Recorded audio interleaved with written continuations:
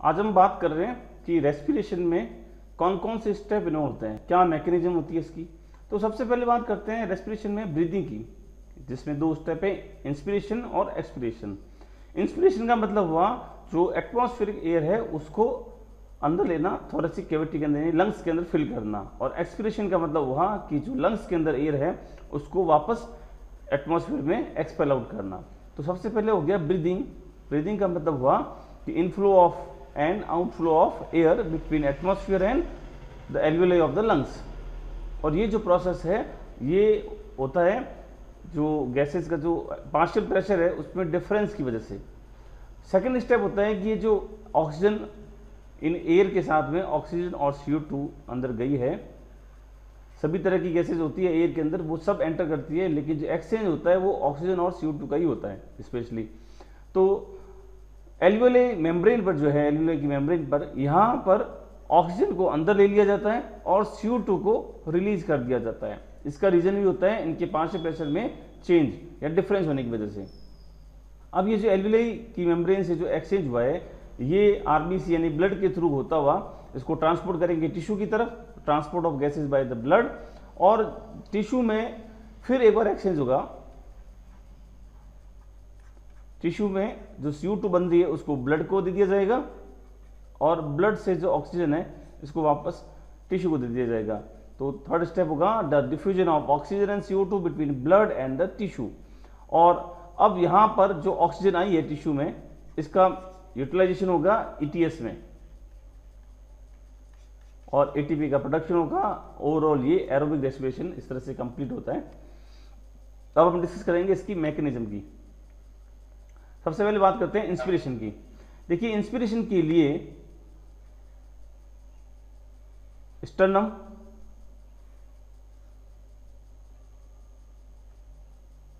Ribs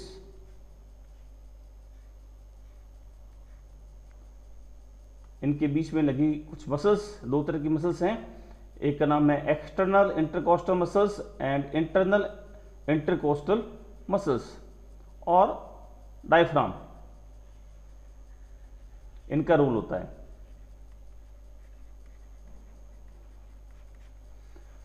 जब हम बात करेंगे इंस्पिरेशन की तो इंस्पिरेशन के केस में जो एक्सटर्नल इंटरकोस्टल मसल्स हैं, इनके अंदर होगा कॉन्ट्रैक्शन और जो डायफ्राम है, इसकी होती है फ्रेनेटिक मसल्स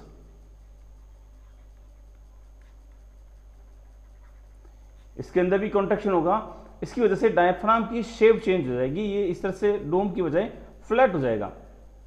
और जब एक्सटर्नल इंटरकोस्टल मसल्स में कॉन्ट्रेक्शन होगा तो ये रिब्स को बाहर अप की तरफ़ खींचेगा। ओवरऑल थोरेसिक कैविटी का साइज़ बढ़ जाएगा। थोरेसिक कैविटी का साइज़ बढ़ने से जो एटमोस्फिक प्रेशर है चूँकि बाहर ज़्यादा होता है गैसेस का और लंग्स के अंदर कम है तो बाहर की गैसेस लंग्स के अंदर एंटर करेगी। दो और मसल्स हैं जिनका नाम लेते हैं internal intercostal muscles and abdominal muscles इनका भी यूज़ होता है, लेकिन ये जब फोर्सफुली करते हैं रेस्पिरेशन हम, जब से एक्सरसाइज के समय तो उस समय इनका यूज़ होता है। नॉर्मली इनका यूज़ नहीं होता है। तो सबसे पहले कहते हैं इंस्पिरेशन की बात करते हैं। देखिए इंस्पिरेशन के केस में एक्सटर्नल इंटरकोस्टल मसल्स में कॉन्ट्रेक्शन होगा। जिसकी वजह से ये ये स्टर्नम है और ये रिब्स हैं और ये जो आपको दिख रहा है, ये है डायफ्राम तो जब एक्सटर्नल इंटरकोस्टल मसल जो इनके बीच में प्रेजेंट है, इनमें जब कॉन्ट्रेक्शन होगा तो ये रिब्स के इस पिंजरे को बाहर की तरफ़ खींचेगी, इस तरह से. और ये जो डायफ्राम है, ये नीचे की तरफ़ यानी कि फ्लैट हो जाएगा. इस वजह से इस थोरेसिक कैविटी का साइज़ बढ़ जाता है। जैसे बकेट का जो हैंडल है इसको हम अगर ऊपर उठाएँ सेम ऐसी ही कंडीशन यहाँ होती है कि ये जो रिब्स हैं ये स्टम्प से जुड़ी होती है और ये जब इंटर, एक्सटर्नल इंटरकोस्टल मसल्स में जब कॉन्ट्रेक्शन होता है तो ये कुछ बाहर की तरफ़ निकलती है और इस तरह से थोरेसिक कैविटी का साइज़ बढ़ जाता है। जैसे ही थोरेसिक कैविटी का साइज़ बढ़ता है बाहर की जो एयर है एटमोस्फियर एयर वो लंग्स में एंटर कर जाती है।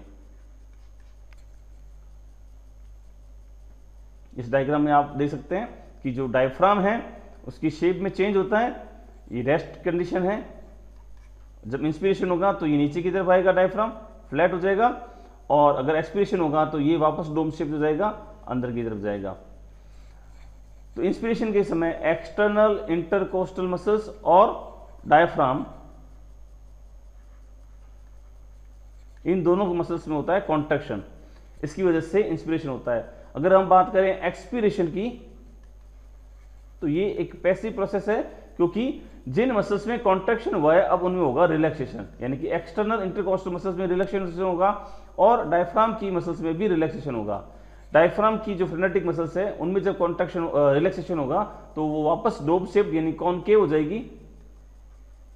और एक्सटर्नल इंटरकोस्टल मसल्स में जब रिलैक्सेशन होगा तो वापस वो उसको, रिब्स को अंदर की तरफ़ ले आएगी। और इस वजह से थोरेसिक कैविटी साइज़ कम होगा और थोरेक्सिक कैविटी यानी कि लंग्स में जो एयर फ्लो हो रखी होती है उसको बाहर एक्सपेल आउट कर दिया जाता है। यानी कि जो एक्सपिरेशन है ये एक पैसिव प्रोसेस है। कभी कभी आ, कुछ सिचुएशन के अंदर फोर्सफुली भी एयर को हम एक्सपेल आउट करते हैं। उस समय abdominal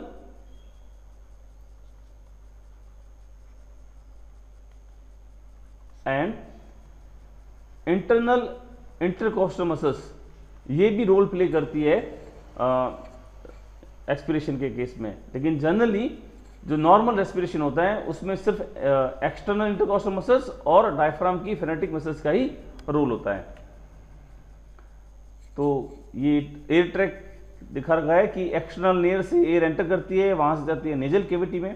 नेजल केविटी से इंटरनल नेयर्स फिर फेरिंग्स फेरिंग्स से ग्लोटिस से होते हुए लेरिंग्स में एंटर करती है। फिर ट्रेकिया ट्रेकिया से ब्रोंकाई, ब्रोंकिया से ब्रोंकियोल ब्रोंकियोल से एल्विलर, डक्ट और लास्ट में एल्यूलाई इस तरह से एयर का फ्रेश एयर का मूवमेंट होता है। अगर बात करें एक्सप्रेशन की तो एक्सप्रेशन हमने कह लिया कि डायफ्राम की मसल्स में रिलैक्सेशन होगा और वो हो जाएगा कॉन्वेक्स और इंटरनल इंटरकॉस्टल मसल्स जो है, इनमें भी रिलैक्सेशन होगा, जिसकी वजह से वो रिप्स को नीचे की तरफ़ ले आएगी और थोड़ा सी कैविटी का साइज़ डिक्रीज हो जाएगा और एयर को पुल अप पुल आउट कर देंगे। जब एक्सप्रेशन होता है तो उसमें जो एयर का फ्लो है वो है एल्यूलर से जाएगा एल्यूलर डक्ट के अंदर। एल्यूलर डक्ट से ये जाएगा bronchioles then bronchi then trachea larynx glottis pharynx internal nares फिर nasal cavity external and outside of the membrane अब एक बात करते हैं यंत्र की स्पाइरोमीटर ये जो वॉल्यूम ऑफ़ द एयर है जो कि ब्रीदिंग के मूवमेंट के समय आ, होता है उसका पता लगाने के लिए एक यंत्र का यूज़ किया जाता है इंस्ट्रूमेंट का स्पाइरोमीटर क्वेश्चन आ सकता है इसके ऊपर। हमने जो अभी पढ़ा वो तो था फ़िज़िकल मैकेनिज्म अब देखते हैं कि यहाँ कैसे इस सरफेस पर एक्सचेंज होता है। तो हमने कहा कि ये जो एक्सचेंज ऑफ़ गैसेज होता है, वो होता है उनके पार्शियल प्रेशर में डिफरेंस की वजह से। एटमोस्फियर जो पार्शियल प्रेशर ऑफ़ ऑक्सीजन है, वो होता है 159 फिफ्टी नाइन और CO2 को होता है 0.3 थ्री जबकि जो एल्बिलोई है, इसके अंदर ऑक्सीजन है, उसका है 105 mmHg और CO2 है 40 mmHg और हमें पता है कि जो गैसेज हैं, वो अपने हाई प्रेशर से लो प्रेशर की तरफ़ मूव करते हैं। चूँकि ऑक्सीजन का प्रेशर बाहर 159 और अंदर है 105 तो ये बाहर से अंदर की तरफ़ आएगा ऑक्सीजन और CO2 बाहर, अंदर है 40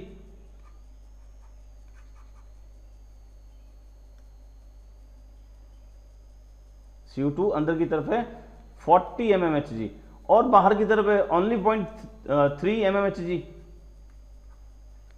तो ये आसानी से बाहर की तरफ़ चली जाती है, अपने हाई प्रेशर से लो प्रेशर की तरफ़। तो इस तरह से एल्यूलाई मेम्ब्रेन पर गैसेज का एक्सचेंज होता है। उसके बाद वहाँ से ये ब्लड कैपिलरी और पल्मोनरी वेन के थ्रू होते हुए जाती है हार्ट में और हार्ट से इसको पूरी बॉडी में अलग अलग डिफरेंट टिश्यू तक पहुँचा दिया जाता है। टिश्यू लेवल पर बात करते हैं यदि हम कि वहाँ पर कैसे ये एक्सचेंज होता है?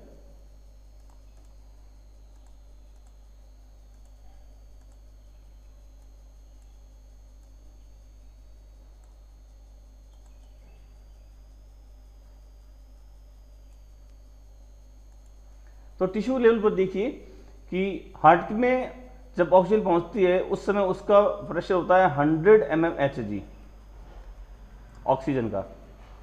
और CO2 जो है, उसका पार्शियल प्रेशर होता है 40 एम एम एच जी लेकिन जो एक्टिवली रेस्पिरेटिंग टिश्यूज है, यहाँ पर जो ऑक्सीजन का पार्शियल प्रेशर है, वो है 40 एम एम एच जी तो ऑक्सीजन यहाँ पर है 100 और यहाँ पर है 40 यानी कि ये अपने हाई प्रेशर से लो प्रेशर की तरफ़ जाएगी, यानी कि ऑक्सीजन मूव करेगी।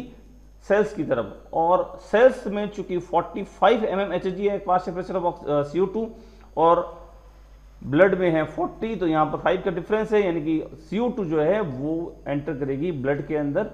इस तरह से टिश्यू और ब्लड के प्लीज़ यानी ब्लड के बीच में गैसेज का एक्सचेंज होता है। इसे हम कहते हैं internal respiration the gas exchange between the systematic systemic capillaries and tissue cells इस डायग्राम में ये शो किया गया कि कैसे एल्वुलाई की एयर में CO2 और ऑक्सीजन जो होती है, वो ब्लड कैपिलरीज के अंदर जो है, जो प्रजेंट होती है आरबीसी और जो ब्लड प्लाज्मा उसमें आपस में एक्सचेंज होता है। तो जो एल्वुलाई के अंदर एयर है, ये जब एंटर करती है, हमें पता है इसका पार्शियल प्रेशर होता है 159 के करीब। तो ये अंदर एंटर करती है तो 98.5 परसेंट जो ऑक्सीजन है, वो ऑक्सी हीमोग्लोबिन बनाती है। एच के साथ रिएक्शन करके एच बनाती है और यहाँ एच को रिलीज़ कर दिया जा रहा है। और सिर्फ़ 1.5 परसेंट ऑक्सीजन है, वो डिजोल्व ऑक्सीजन गैस के फॉर्म में ट्रांसपोर्ट की जाती है। अगर हम बात करें टिश्यू लेवल की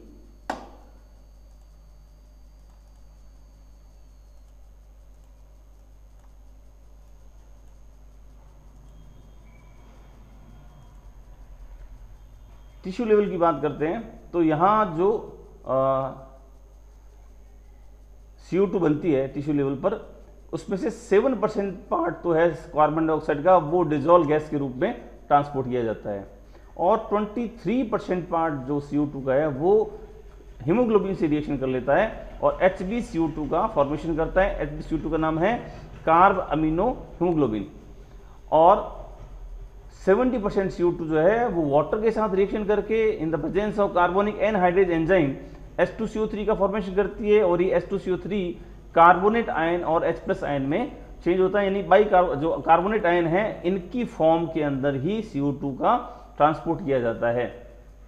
ये रिएक्शन आपने पढ़ी होगी क्लोराइड शिफ्ट रिएक्शन जब H2CO3 और H प्लस आयन बनते हैं तो H2CO3 बाहर चला जाता है और उसके अगेंस्ट Cl माइनस अंदर आता है। इसे कहते हैं क्लोराइड शिफ्ट रिएक्शन। और ये जो H प्लस आयन है, ये एच बी ओ टू से रिएक्शन करेगा। जब भी एच आयन की नंबर ज़्यादा होंगे तो वो ऑक्सीजन को ऑक्सीजन के लिए उसकी एफिनिटी कम हो जाती है। अगर हम बात करें टिश्यू लेवल पर तो टिश्यू में जाते ही क्या होगा कि जो ऑक्सीमोग्लोबिन है, उसको अपनी ऑक्सीजन देनी होती है टिश्यूज को या सेल्स को। तो वहाँ पर हीमोग्लोबिन की एफिनिटी ऑक्सीजन के लिए कम करनी पड़ेगी, तभी तो वो उसको छोड़ेगा। तो हीमोग्लोबिन की जो एफिनिटी है, ऑक्सीजन के लिए उसको कम करने के लिए क्या होता है? एचाइन जो है। यदि एचाइनों की मात्रा बढ़ा दे तो हीमोग्लोबिन जो है, वो ऑक्सीजन को छोड़ देता है उस। तो जैसे ही यहाँ S two C O three और एच प्लस साइन बनते हैं तो एच प्लस साइन की मात्रा ज़्यादा होने से हीमोग्लोबिन की एफिनिटी ऑक्सीजन के लिए कम हो जाती है और ये ऑक्सीजन को यहाँ रिलीज़ कर देता है, यानी कि ऑक्सीजन को छोड़ दिया जाता है टिश्यू की तरफ़। इस तरह से टिश्यू लेवल पर ये एक्सचेंज ऑफ़ गैसेज होता है, इसका अपोजिट होता है एल्वुलाई में। एल्वुलाई के अंदर ऑक्सीजन जो है वो हीमोग्लोबिन से रिएक्शन करती है। जहाँ पर एच लगा होता है ऑक्सीमोग्लोबिन बनता है और एच जो है वो यहाँ काम आ जाते हैं कार्बनिक एनहाइड्रेट की फॉर्मेशन के लिए सॉरी H2CO3 बनाने के लिए, क्योंकि यहाँ पर अब H2CO3 बना के CO2 बना के इसको वापस बाहर भेजना है। तो जो कार्बोनेट आयन है, वो अंदर एंटर करेंगे आरबीसी में। हम बात कर रहे हैं blood capillaries at the level of alveoli तो यहाँ पर जो एच थ्री माइनस जो बने थे ब्लड प्लाज्मा में थे, वो आएँगे अंदर आरबीसी में और एच से रिएक्शन करके बनाएँगे एस टू सी थ्री और ये कार्बोनिक एनहाइड्रेज की प्रेजेंस में टूटेगा एस टू और सी टू में, जो कि सी टू है, इसको अब बाहर भेज दिया जाएगा। तो जो एच बी है, इसका रेगुलेशन जो है, वो एच एचाइन करते हैं। यदि एचाइन की कंसनट्रेशन ज़्यादा है तो वो ऑक्सीजन से बाइंड नहीं करेगा, या ऑक्सीजन को रिलीज़ कर देगा। और एच की कंसनट्रेशन कम है तो वो ऑक्सीजन से बाइंड कर लेगा, यानी ऑक्सी हीमोग्लोबिन बना लेगा। और इसके लिए रेस्पॉन्सिबल होता है एस का ब्रेक होना एच माइनस और एच प्लस के अंदर।